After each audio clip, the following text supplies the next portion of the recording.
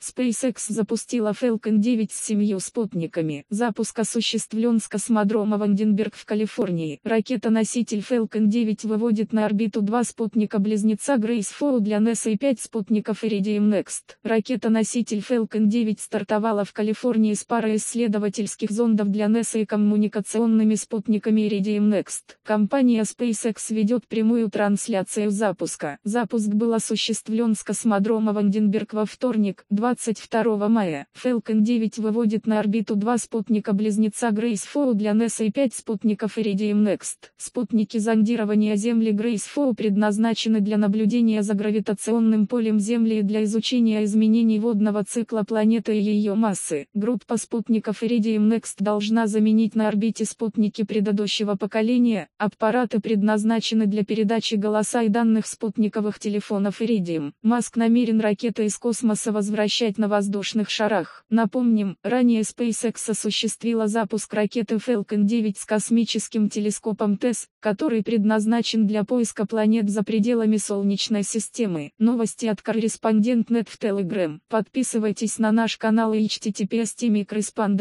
По материалам сайта Newsgro.com.